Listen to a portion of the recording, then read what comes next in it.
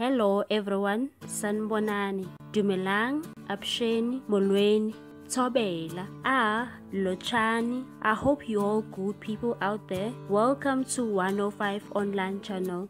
In this channel, we are bringing you celebrity news, entertainment news and gossip celebrity news. If you are new into this channel, please please subscribe and hit the notification button Hey good people, today I am bringing you the latest news of Thabo Malema. The former scandal actor Thabo Malema opened up about his villainous role as a Captain Bohang on the show to Daily Sun. He said, playing Bohang has been incredible and I'm enjoying every minute of it. The viewers of the show have been showing me love and I appreciate them. My character brings a new dimension to the show because it portrays someone's reality somewhere. The storyline is educational and edgy. I love what I do and I appreciate that people see my passion. He also stated that Bohang is a wolf in sheep's clothing, a master at hiding his true intentions, a true manipulator and that's far from who I am as Thabo Malema. Bohang is jealous, ticking time bomb. I do however appreciate the lessons coming from the storyline. Our country has been facing